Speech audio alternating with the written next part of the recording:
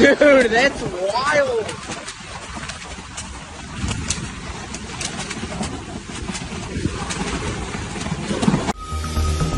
Una devastadora tormenta arrasó con diversas zonas de la urbe de Phoenix, Arizona, en los Estados Unidos. Fue durante la noche del martes y hasta la mañana del miércoles que se afectó tanto avionetas en el este del valle y dejó a miles de personas sin electricidad.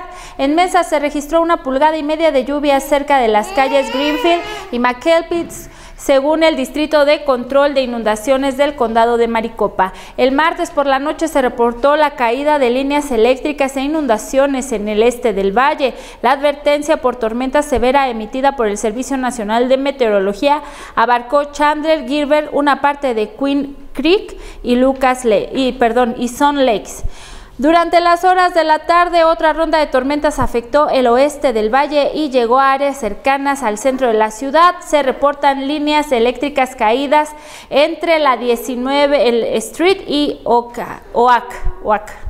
Bueno, pues es con estas impactantes imágenes de la fuerza de la naturaleza que esta vez arrasó con, como ya le comentaba, con parte del área metropolitana en Phoenix, Arizona, que iniciamos este informativo ABC Noticias Michoacán. Bienvenidos a esta transmisión en vivo a través de nuestro Facebook Live.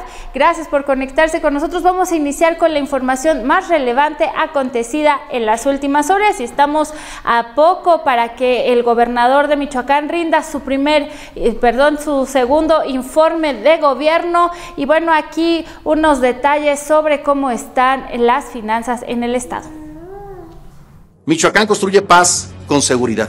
Hemos reducido el delito de homicidio, 826 homicidios menos este año comparado con el año anterior. Somos el estado de la República que más reduce este delito. Pero también ya salimos de la lista roja del delito de asalto en carreteras, al transporte de carga.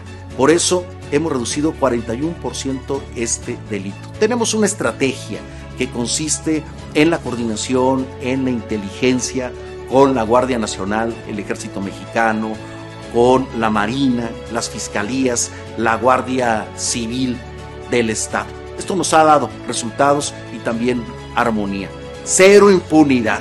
Por eso, cero tolerancia a los delincuentes y nada de pactos inconfensables, nada de pacto en lo oscurito. Aquí, honestidad y derechos todos.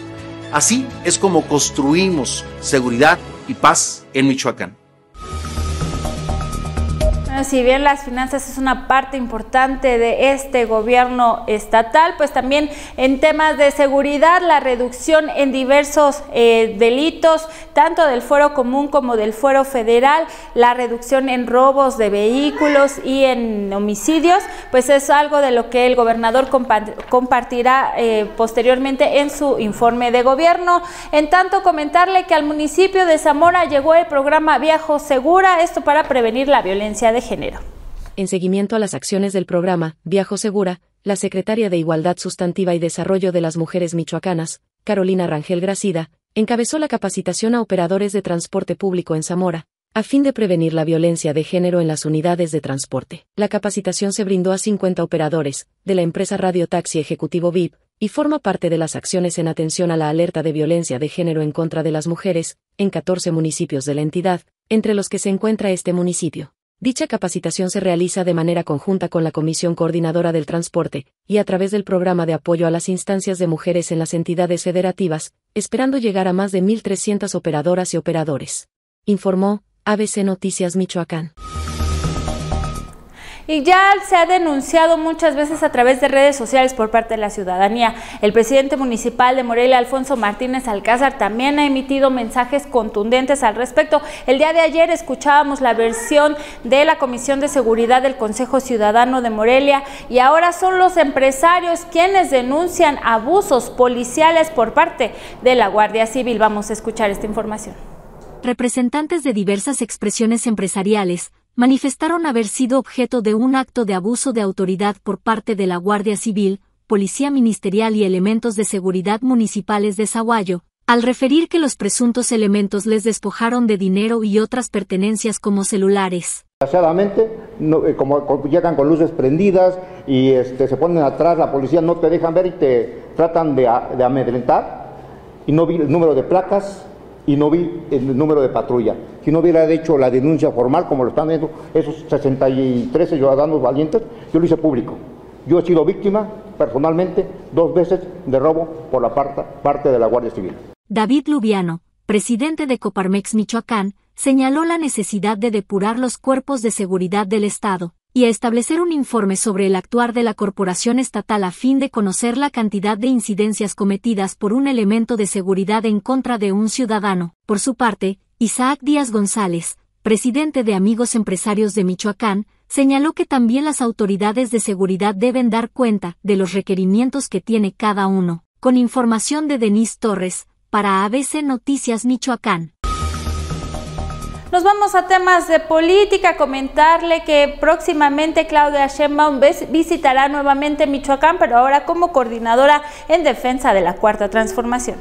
El dirigente estatal de Morena, Juan Pablo Celi Silva, anunció la presencia del aspirante a la presidencia de la República, Claudia Seinbaum Pardo, en rueda de prensa informó que el próximo domingo se llevará a cabo el Consejo Estatal en donde estará presente el aspirante presidencial, esto con el fin de afinar los detalles en las tareas que se harán de ejecutar de cara al proceso electoral 2024. Les quiero informar que vamos a tener un Consejo Estatal extraordinario en Morena, Michoacán, y pues tenemos la honrosa presencia de nuestra querida doctora Claudia Sheinbaum, precisamente.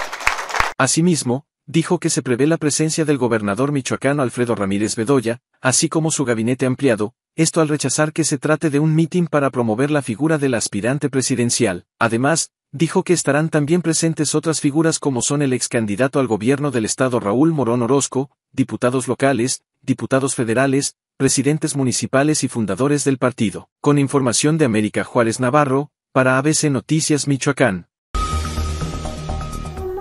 Bien, en otros temas, comentarle que 11.2 millones de pesos es lo que se ha invertido en las escuelas que fueron dañadas por los sismos en Aquila.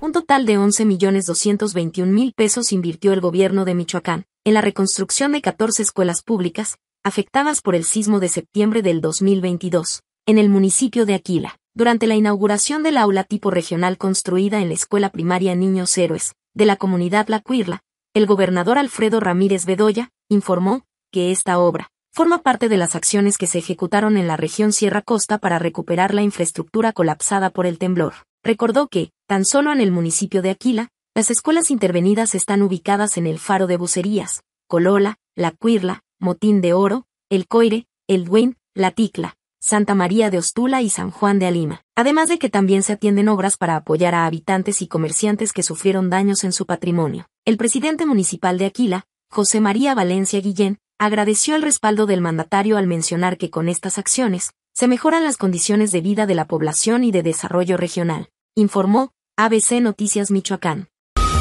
En otros temas, usted sabe cuáles son los síntomas que pudieran presentarse en sus hijos o hijas eh, y que pudieran indicar algún indicio de cáncer. De esto nos habla el doctor David Alberto Hernández Arroyo.